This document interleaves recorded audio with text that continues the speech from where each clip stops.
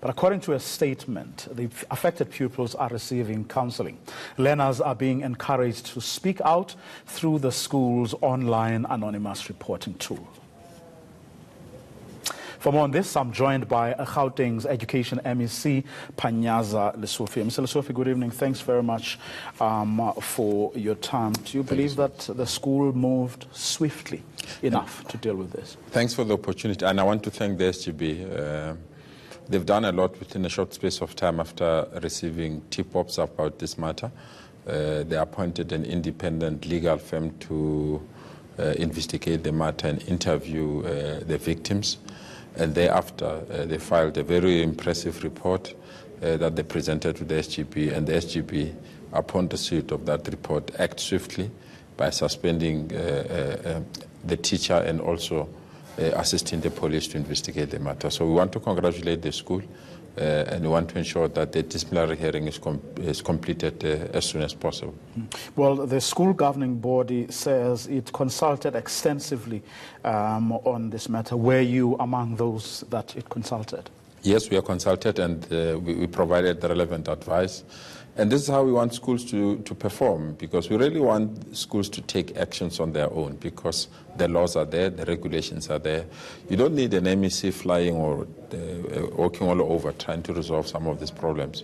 We've empowered our SGBs to deal with these matters in this particular fashion. And I'm impressed uh, that the SGB of this particular school have acted in this, in, in this fashion. But what, we can't tolerate this form of sexual harassment. What was, what was your advice to them? Well, is to, to, to, to, to institute the disciplinary hearing, suspend uh, the relevant teacher immediately, but most importantly, assist in, in opening a criminal charge uh, with, the, with, the relevant uh, law enforcement agencies. Uh, what have been, I mean, uh, what has been your experience, though? What is often making it difficult uh, for the survivors and victims of um, this kind of harassment to come forward? Well, it's, it, it's, mainly because learners want to conclude their studies. Uh, secondly, they don't want their parents to know. Uh, and thirdly, uh, the torture and the trauma of going through uh, the disciplinary hearing and relating the story. That is why immediately when we received this information, because uh, I went through uh, the charge sheet, it's horrifying stories. and from the experience that we had from the Parktown boys, we felt that we need to come in and come in quickly. Uh, we provided counseling and provided support, and uh, the report recommended that uh, they must give uh, uh, evidence in camera, which is something that we will strongly, strongly support because this protects learners. It encourages other people to feel free to provide relevant evidence that we need. But I want to salute the school, salute the learners themselves. It's very, very difficult if you check the report, uh, you can see the relationship was very, very close with the educator. They regarded the educator as a father figure. So for them to come and say this happened, uh, they were brave and want to thank them. And uh, if the allegations are confirmed by the disciplinary hearing, uh, we'll advise the school to take the appropriate action, and that appropriate action is to terminate the contract immediately.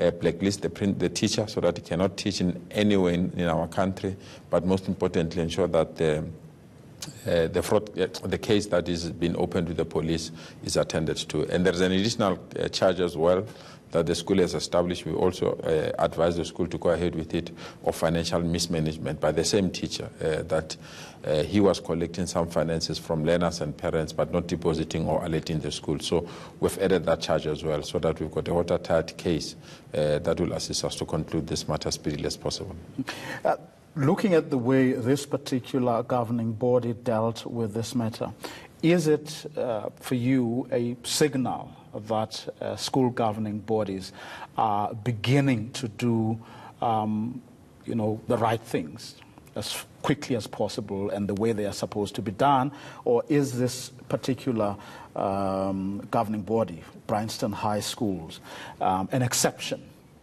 No, it's the maturity of our uh, training programs. Uh, it's also the relationship uh, that we've developed with School Governing Body Association after we were hit by many sexual uh, assault cases within the schooling environment. So we put up the team to really train SGBs on how to manage uh, cases and also how to ensure at all times uh, they work with the police. And I think this uh, school governing body came out uh, with flying colors, and I'm, I'm impressed. I'm very happy with that. But we'll monitor the situation because we need to monitor three important things. Is the charge sheet uh, watertight? And I'm convinced it is. Two, do we have evidence? And I'm convinced we have evidence. Three, have you know, uh, appropriately notified uh, uh, the affected person? Yes, they did. So I'm quite impressed with them, and we'll monitor the situation. And I want to apologize to the parents of the learners, most importantly to the learners themselves, that uh, this happened during schooling activities, and it happened during netball matches, it happened through uh, uh, school trips and other related matters. And those are uh,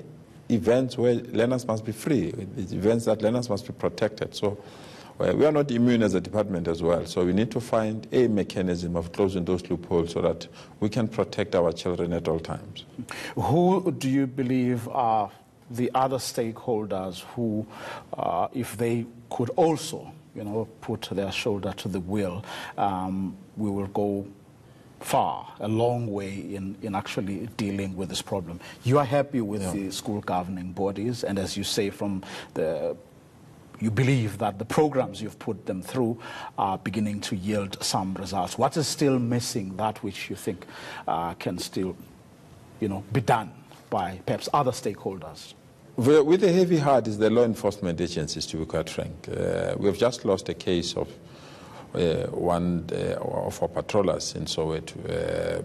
Uh, I mean, if you check that uh, chat sheet, there are lots and lots of learners participating. And the law enforcement agencies uh, tried, but the court was uh, damning in their findings to say you didn't follow processes, you didn't work all those things. So we want law enforcement agencies to come to the party, uh, that they must take this matter seriously, they must not handle them clumsy, but most importantly, they must protect the evidence, because in the absence of evidence, you can't find uh, someone guilty. So it's very, very important that the law enforcement agencies uh, assist us and play their part. But I'm happy with the SGBs and the parents of the kids uh, that they protected and supported their children, and we need to do so until the matter is finalized. The, kid, the hearing is going on on the 5th and the 6th of February, uh, and uh, we'll monitor the case closely.